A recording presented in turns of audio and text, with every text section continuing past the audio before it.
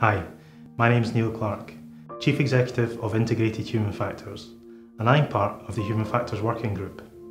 Risk assessment and accident investigation could be viewed as the before and after of any accident or incident.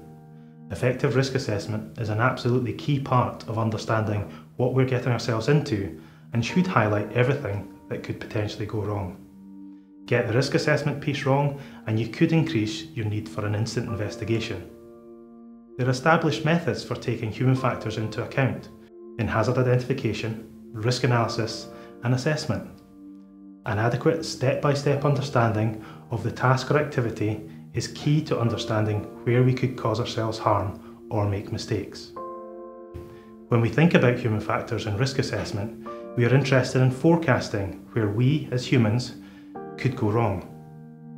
By including human factors in the risk assessment, it gives us a much better understanding of how to complete work safely and prevent the incident happening now or in the future.